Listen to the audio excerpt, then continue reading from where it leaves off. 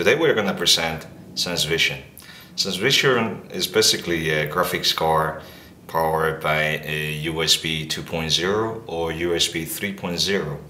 Uh, all you have to do is uh, plug in the this adapter to your notebook or to your desktop and you can um, have an additional monitor with it. So we have two different products.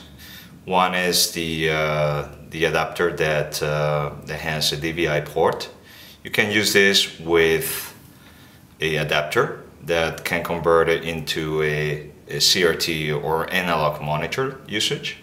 So all you have to do is just plug it in, and then you have a uh, the port for analog uh, uh, displays. And we also have the HDMI version, which is very nice for HD TVs if you're traveling around and, um, and you want to use your monitor for your homework and, uh, and also watch movies uh, on a separate device. Um, that, that this is the product to have. So these are the two devices, DVI and HDMI.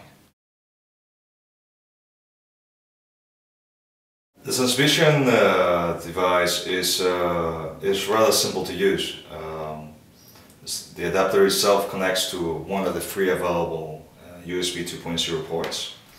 And all you have to do is plug it in to the uh, DVI cable that is attached to the monitor. It's rather simple. It's plug and play. And to demonstrate you, you know, how capable this device is, uh, we're gonna play a movie in full HD resolution. And we're gonna do a playback. Skip a little bit forward. And so the idea is that you can use multiple screens. Uh, in the Mac OS X you can use monitors up to uh, up to uh, four uh, separate screens. And on Windows, you can use up to six displays.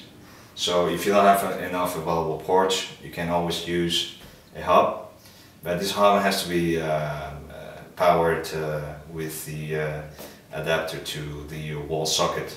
It will not do, it will not be uh, capable of running uh, four displays, in this case for Mac OS X, if you are only powering uh, through the USB ports. So I'm gonna put a full resolution on this screen and it plays back without no frame rate uh, loss.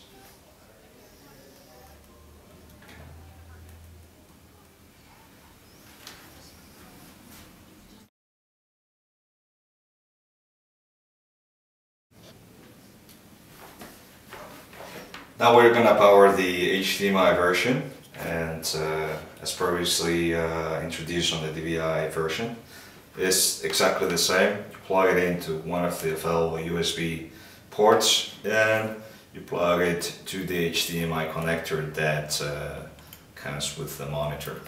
So you can have place the, uh, the HDMI uh, connector.